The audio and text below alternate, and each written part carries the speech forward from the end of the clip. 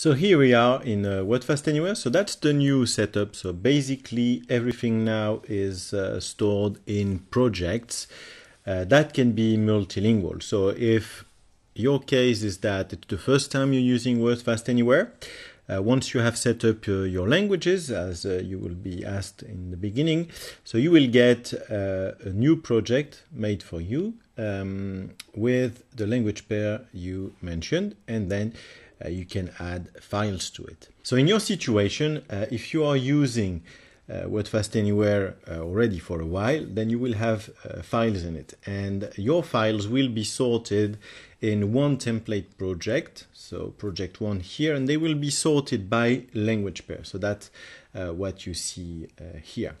So now let's see how we work within it. So here I am starting up with uh, an empty project. So what I want to do, for example, is to add a file.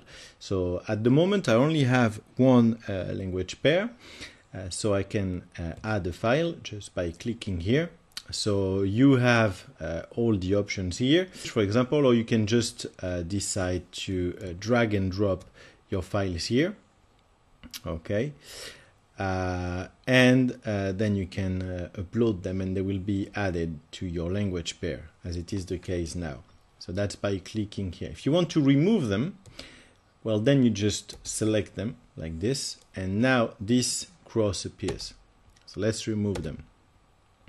Now let's say we have uh, several language pairs that we want to work with.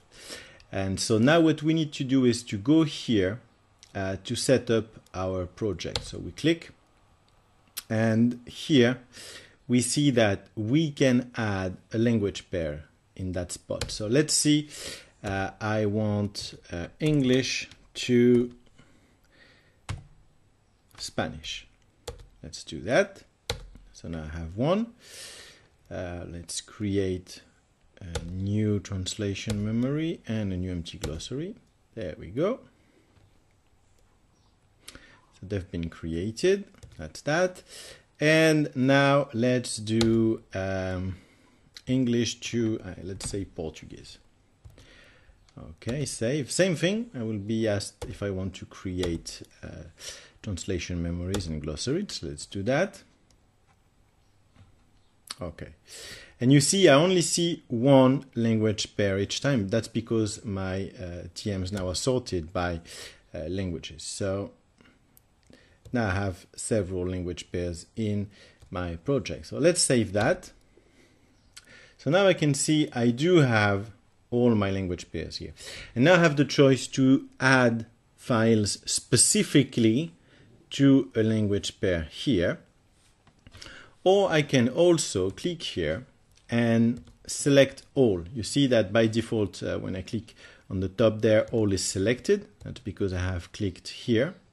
And now, so the beauty of that is that if I select my files now, I can add them to the project again, and they will be added uh, to all the language pairs at the same time. So that's done now. They've been uploaded to all my language pairs. Okay. And now if I want to look at uh, my translation memories and my glossaries, I see they are listed here in that column. Okay, so that's where they are. So if I click on that, now you see I only see what has to do with English to Spanish because I clicked uh, for that pair.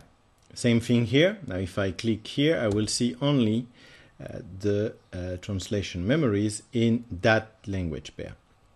Now if I want to see all my translation memories and manage them all, now this function has been moved to the WordFast Anywhere tab and I click here.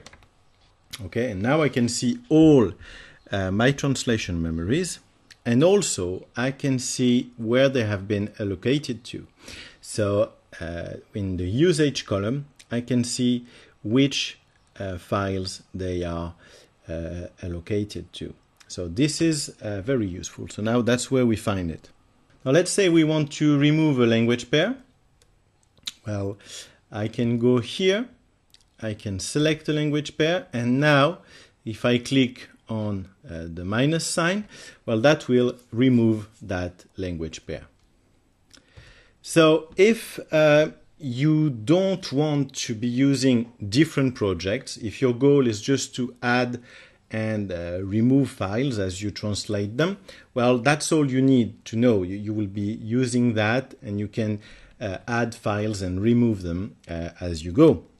Now, if you want to use different projects, well, then let's close this project now I see it here, okay, with some details, and I can create a new project or import one, or if I select a project, now I can delete it or I can export it.